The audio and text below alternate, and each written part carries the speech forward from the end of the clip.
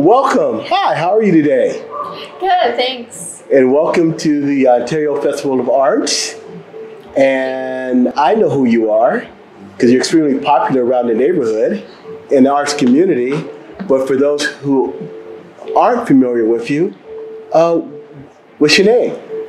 Uh, my name is Yuntong, likewise go by Momo. Um, I am an artist, a local artist here. Um, I do paintings, ceramics, um, installation art. Um, I was born in China and moved to the United States about 10, uh, I'm sorry, 12 years ago. So very happy to be here today and showing my work in the Ontario Festival of Art. Okay. And what is your art background?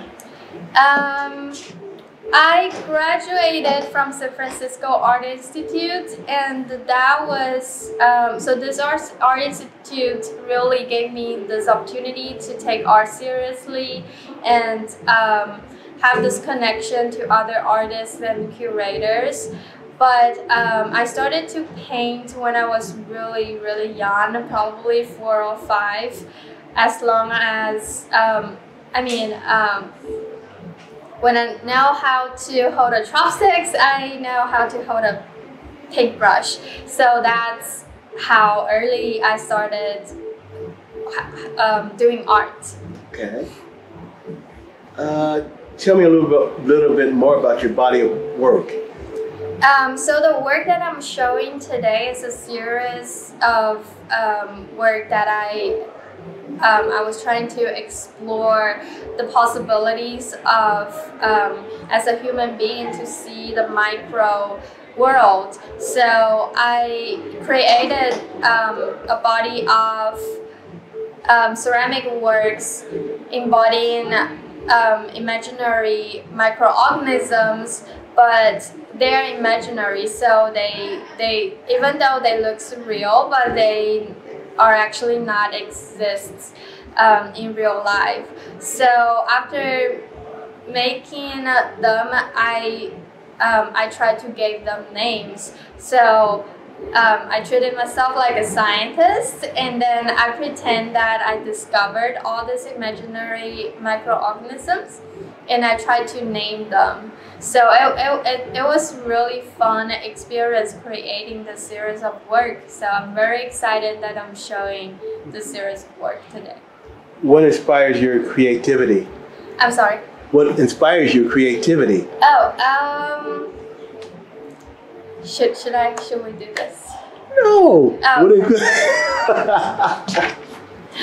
I'm sorry. what inspires your creativity? Um, so a lot of things, the vastness of nature, the cosmos, and the microorganisms inspired my um, my my art.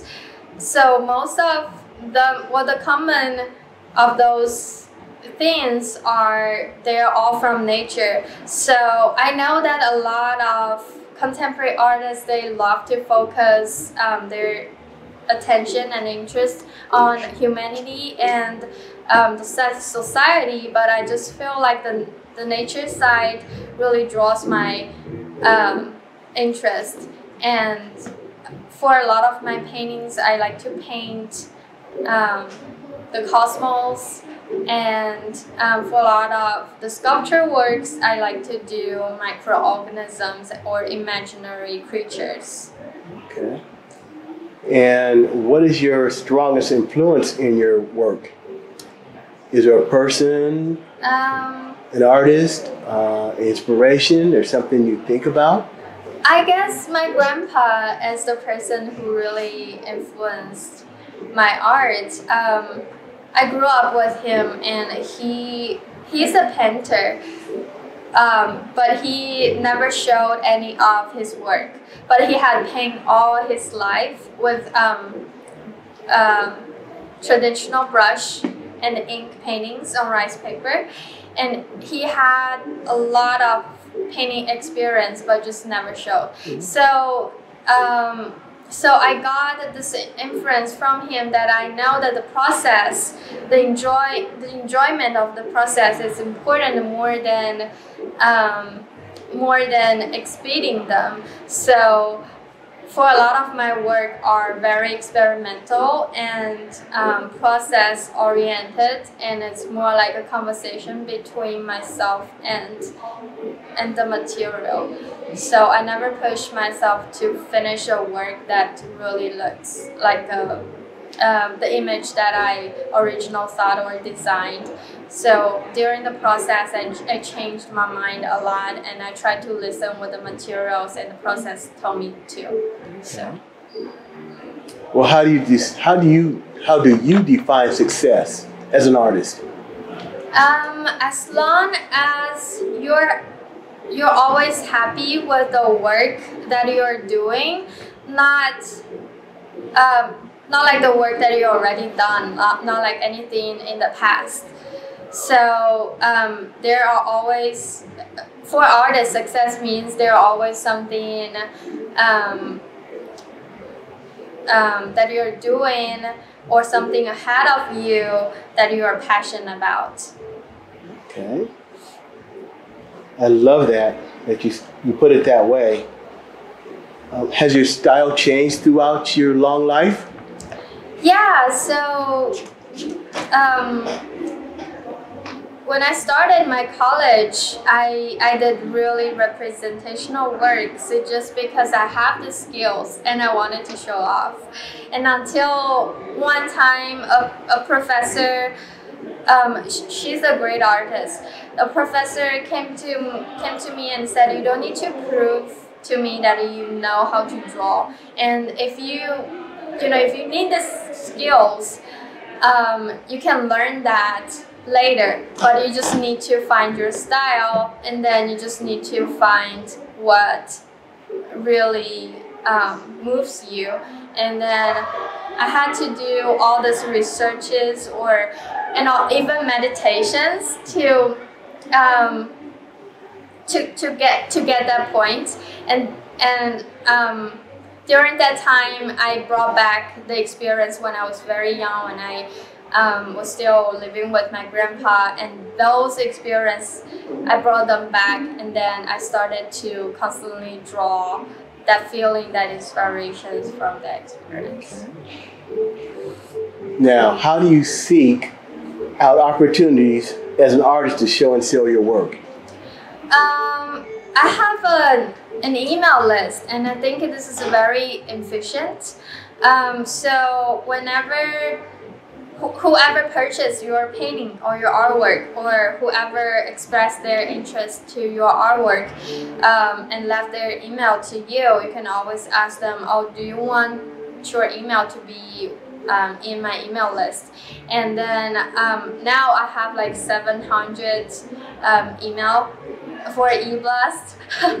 and then, um, so for every exhibitions um, that I have or openings or even a body of work that I just complete, I would just shoot an email and say, um, hi friends, professors and colleagues, I have this body of work. I recently done. I'm pretty happy with it. And here's the statement. Here's our here are some samples of images.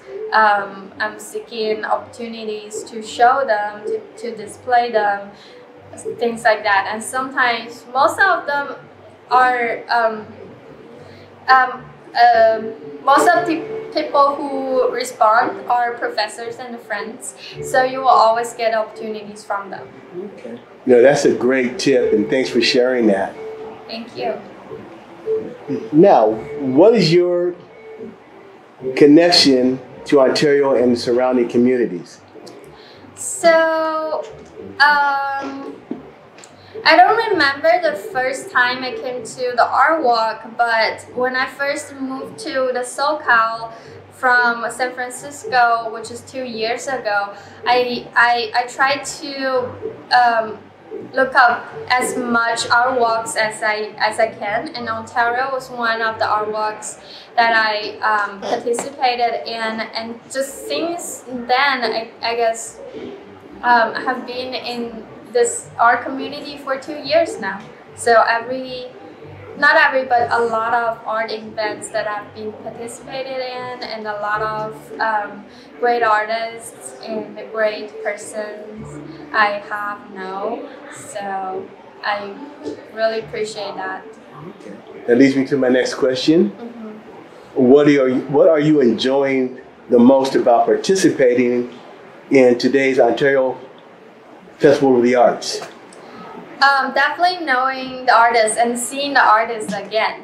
So I see a lot of familiar faces, and I made a lot of friends. Last year was the first year I've, I I ever attended, so I made a lot of friends from last year. And for this year, I'm just so happy to see their face again. So friends and artists.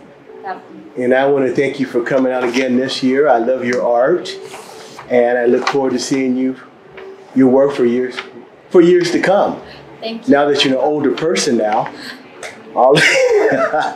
But anyway, hey, thank you so much for taking the time to talk to me. I know you, so we understand each other. But I just want to say thank you so much for coming out Thank and you. participating today. Thank you, Have a great day. Thank you.